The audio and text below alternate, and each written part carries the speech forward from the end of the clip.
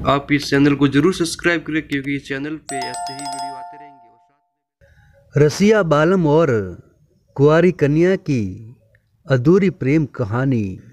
इनकी प्रेम कहानी को लेकर यह मान्यता है कि रसिया बालम आबू पर्वत में मजदूरी करने आया था। कई उसे शिव का रूप भी मानते हैं और राजकुमारी को देवी का रूप। इसलिए इनकी यह मंदिर भी है। राजकुमारी को उससे प्यार हो गया। राजा ने दोनों की शादी के लिए एक शर्त रखी कि यदि एक रात में बिना किसी औजारों के यदि कोई झील खोद देगा तो उसकी बेटी की शादी वह उससे करा देगा। इस पर रसिया, बालम ने एक ही रात में नक्की झील को खोद डाला और राजा के पास जाने लगा।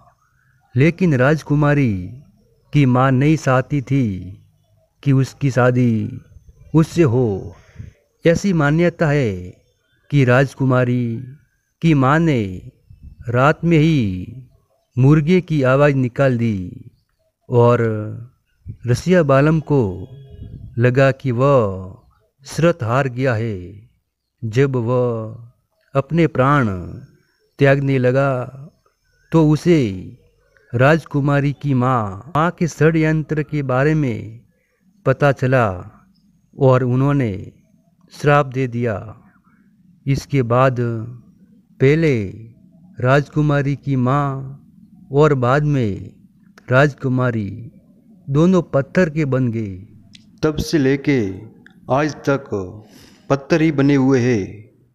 गुरु महाराज कहते हैं कि शैर युग खत्म होने के बाद वापस विवाह होगा।